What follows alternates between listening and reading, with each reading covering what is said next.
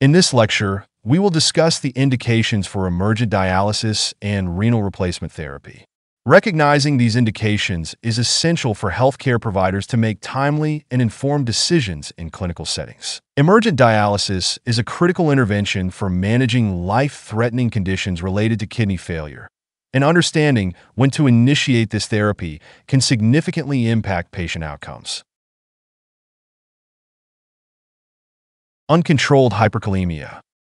One of the primary indications for emergent dialysis is uncontrolled hyperkalemia, which is defined as a serum potassium level exceeding 6.5 millimoles per liter or rising levels. Elevated potassium levels can lead to severe cardiac complications, including arrhythmias, which require immediate intervention. Dialysis is often necessary to rapidly reduce potassium levels and prevent further cardiac events. Refractory fluid overload. Refractory fluid overload is another critical indication for emergent dialysis. This condition is characterized by persistent hypoxia or a lack of response to conservative treatments such as diuretics. When patients cannot manage fluid retention through these measures, dialysis may be required to remove excess fluid and alleviate symptoms such as shortness of breath and swelling. Uremic pericarditis.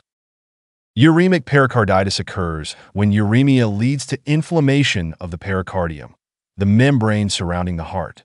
This condition can cause significant discomfort and complications, such as pericardial effusion or cardiac tamponade, making it a clear indication for renal replacement therapy. Dialysis helps reduce the accumulation of uremic toxins that contribute to this inflammation. Progressive uremic encephalopathy. Patients exhibiting progressive uremic or metabolic encephalopathy require urgent attention. Symptoms such as asterixis, a flapping tremor of the hands, and seizures indicate that the central nervous system is affected by toxins that the kidneys can no longer filter effectively. Dialysis is necessary to remove these toxins and prevent further neurological damage. Severe sodium imbalances. Severe sodium imbalances are also critical indications for renal replacement therapy. A serum sodium level below 115 milliequivalents per liter or above 165 milliequivalents per liter signals a need for dialysis. Both hypernatremia and hyponatremia can lead to serious neurological issues, including confusion, seizures, and coma, which require prompt correction. Metabolic acidosis with acute kidney injury.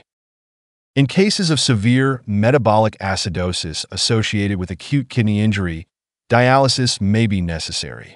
This condition often results from the accumulation of acids in the body, such as lactic acid, which the kidneys cannot adequately excrete. Maintaining a pH greater than 7.2 is important, especially in the context of permissive hypercapnia, where elevated carbon dioxide levels are tolerated to avoid excessive mechanical ventilation.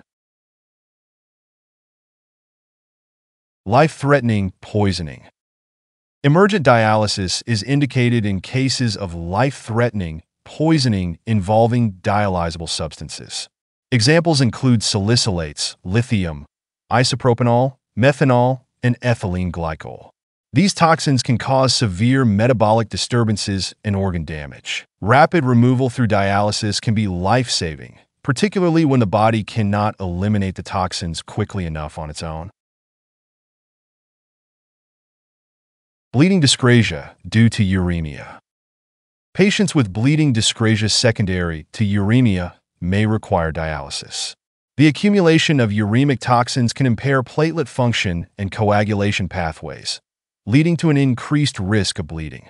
Dialysis helps reduce these toxins, improving platelet function and reducing the risk of hemorrhage. Excessive blood urea nitrogen and creatinine levels. Excessive levels of blood urea nitrogen and creatinine can indicate the need for dialysis. While trigger levels are somewhat arbitrary, It is generally advisable to maintain blood urea nitrogen levels below 100 milligrams per deciliter, or approximately 37.7 millimoles per liter. Each case should be evaluated individually based on clinical context, including the presence of symptoms and the rate of rise in these levels.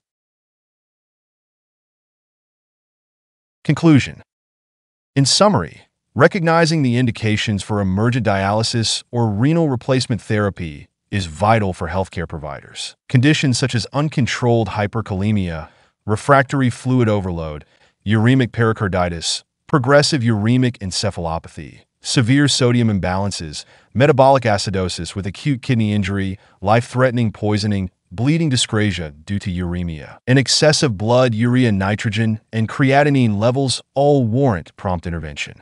Understanding these indications will enhance patient care and improve outcomes in critical situations.